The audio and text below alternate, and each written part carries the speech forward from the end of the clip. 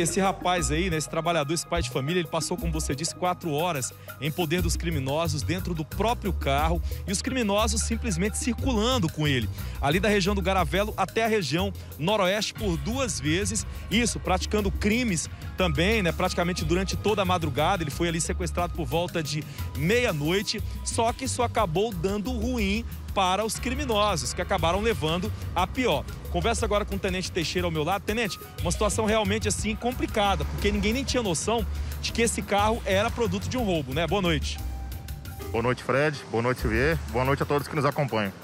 Exatamente, Fred. A equipe da CPR estava em patrulhamento pelo setor Garavelo e deparou-se com um, um veículo em alta velocidade com indivíduos em atitude suspeita. A princípio, é importante salientar, a CPE não sabia que se tratava de um veículo roubado, tendo em vista que a vítima estava no porta-malas e seu celular havia sido subtraído pelos criminosos, que desligaram o aparelho. Então iniciou-se um acompanhamento que terminou no Jardim dos IPs, quando os criminosos é, abalroaram esse veículo em um, em um morro, bateram em um, um canto de terra. Os criminosos desceram, atiraram contra os policiais, houve um revide e foi neutralizada a ação de três assaltantes. Eles estavam com duas pistolas e um revólver. Tenente, você estava me explicando, perdão lhe cortar, mas você estava me explicando que é, um desses criminosos não é a primeira vez que ele comete esse tipo de crime, ou seja, um cara que já, já tinha cometido esse tipo de crime outras vezes, aterrorizando a vida de motoristas aí de aplicativo. Exatamente. É, um dos criminosos, após o confronto e ser acionado o socorro médico, constatou-se que um desses indivíduos é, já tinha realizado quatro crimes dessa natureza, em Aparecida e Goiânia pegando as vítimas, colocando no porta-malas e assim rodando na cidade, cometendo outros crimes.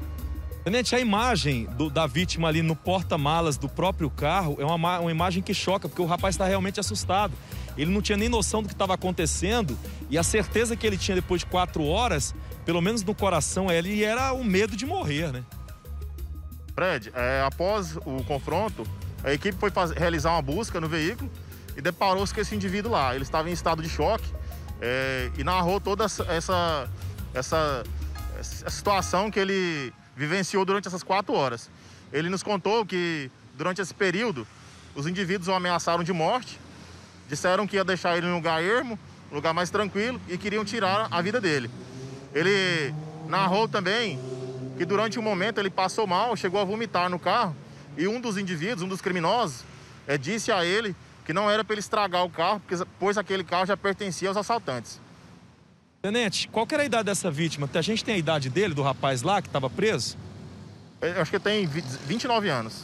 Pois é. Aí, Silvia, a gente está vendo aí, né, você que está acompanhando Cidade Alerta, Deus colocou o pessoal da CPE de Aparecida na hora certa, no lugar certo, para salvar a vida desse trabalhador, desse pai de família, que passou quatro horas na mão desses criminosos, sendo aterrorizado, sendo humilhado dentro do próprio carro, sem saber se voltaria ou não para casa. Os três criminosos, repito aqui, morreram no confronto, eles decidiram atirar contra os policiais, não pensaram duas vezes e foram os três atingidos e foram direto para o inferno. Silvia. O tenente Teixeira estava na ocorrência diretamente, o Fred?